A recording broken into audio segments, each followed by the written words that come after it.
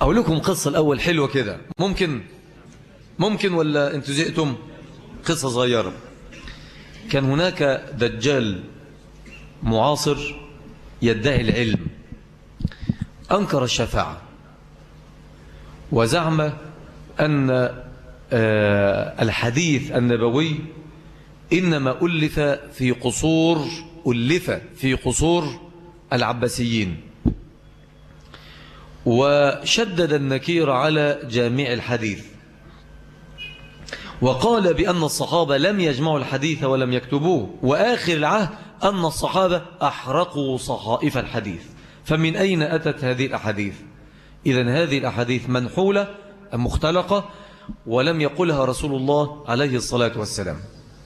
دجال آخر وأعود إلى الدجال الأول. دجال آخر قال إن الأحاديث التي يحتاجها المسلمون 100 حديث. يعني اللي إحنا محتاجين بس حوالي 100 حديث. وكل الأحاديث الباقية كلها اقذب بها في نهر النيل. مش عاوزين نعود إلى الدجال الأول. هذا الدجال أفردت له صحائف سودها في إحدى الجرائد السيارة التي تباع بالملايين. كان يكتب فيها مقال ينكر فيها الشفاعة ويقول فيها هذه الخرافات. الذي أدهشني جرأته الشديدة على الكذب. يعمل إزاي؟ يقول لك وقال و وذكر الذهبي في ترجمة آه، أبو بكر عن طارق بن شهاب أن أبا بكر رضي الله تعالى عنه آه، قال لابنته عائشة هاتي بالصحائف الموجودة في القوة الفلانية. فأتت له بصحائف فأحرقها. وقال لو استقبلت من أمري ما استدبرت منه ما كتبت شيئا من حديث رسول الله. ويقول لك بقى ذكره في تذكير الحفاظ المجلد الأول صفحة كذا. طبعا من المشكلة العجيبة في أمة الإسلام أنهم لا يقرؤون. لا يقرؤون. الناس يقول لك الرجل رجل مطلع مثقف بيرجع للمصادر وبيرجع بالمجلد والصفحة. طب حد جاء في دماغه إن هو يرجع كده لتذكرة الحفاظ ويقرأ بنفسه؟ أنا عملت المسألة دي. رجعت تذكرة الحفاظ. لأن هذا رجل كان شيوعيا سابقا ثم بعد ذلك صار بعد ذلك بهائيا. يعني خرج من من يعني من ظلمات ويوقع في ظلمات. والله أعلم بحاله إيه دلوقتي. المهم هذا الدجال وما أكثر الدجاجيل في هذه الأيام لما رجعت بقى لتثرية الحفاظ للذهبي وبالفعل هو كان صادق في نفس المجلد نفس الصفحة بس يعني بقول لك ما أجرأه لأن في دماغه نفش حد هيرجع. اتلقيت بعدها قال الذهبي وهذا لا يصح. قال الذهبي وهذا لا يصح الخبر غير صحيح. لأن طارق بن شهاب لم يدرك مين؟ أبو بكر أصلا فالخبر ده مش صحيح. فراح جايب الحتة اللي على مزاجه وساب الحتة الثانية زي بالضبط واحد ما بيصليش. أعوذ بالله من الصلاة. ليه؟ لأن ربنا توعد المصلين. الفويل للمصلين. لا يا عم أنا كده حلو كده ما شاء الله. من البيت للجوزة ومن الجوزة للبيت الحمد لله. لأن ربنا المصلين عملوا إيه؟ ربنا بيتعددهم بالويل. ويل لنار في وادي في جهنم.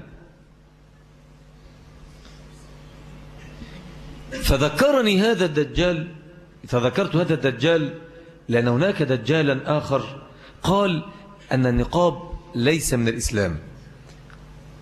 وما فيش حد في تاريخ الإسلام قال إن بمشروعية النقاب. فيش حاجة اسمها نقاب في الإسلام خالص. يا إله. سبحان الله. ما أجراهم؟ وقال لك إن سئل الشيخ محمد حسنين مخلوف عن النقاب فقال إنه عادة وليس من الإسلام. وشول الشيخ محمد الغزالي حرب في كتابه المرأة مش عارف إيه فقال عن النقاب فقال إن النقاب كان يعني معنى كلامه ظاهرة تناسب ذلك العصر يعني تناسب عصرهم. أما الآن لا تناسبنا. إحنا عاوزين المرأة تخرج وتخالط الرجال ويكون لها دور في الحضارة وبتاع إلى ذلك. يا إلهي أطويت صفحات الأمة من لدن الصحابة الأجلة إلى القرن الواحد وعشرين واحد وعشرين قرن. نطويهم ونردم عليهم. ويبدأ التأصيل العلمي من أول شيخ الديار محمد حسين مخلوف. سبحان الله. وقالوا إن مفيش حد من المذاهب قال هذا الكلام. سبحان الله. هذا ورق جيد. آه، طبعا عندنا حديث في الصحيح حديث عائشة. قال رسول الله عليه الصلاة والسلام لا تنتقب المحرمة ولا تلبس القفازين. لا إيه لا تنتقب. عائشة بتقول كنا لا نلبس النقاب فإذا مر بنا الركب من الرجال أزدلنا. أزدلنا يعني إيه؟ يعني نزلت من فوق البيشة كده على وشها مفيش حد يشوفها. مش زي ما بيعمل المنتقبات ال ال الهوبل في الحرم المكي تجد واحدة منتقبة أول ما تخش الحرم المكي تقوم شايلة النقاب. وتصلي بقى من غير نقاب بقى. طبعا في هناك ناس لابدين في الدرة بيتفرجوا على هذه الايه على هذه النساء على على هؤلاء النسوة طبعا جهالة. جهالة يقول لك لا لأن النقاب حرام. طب بس الإسدال مش حرام. إحنا طبعا عندنا لوح في المصطلحات. يقول لك الإسدال مش حرام. يبقى الإسدال بقى اللي هو الايه؟ اللي هو الد... اللي هو ال... ال... الشابور ولا الداشور ده.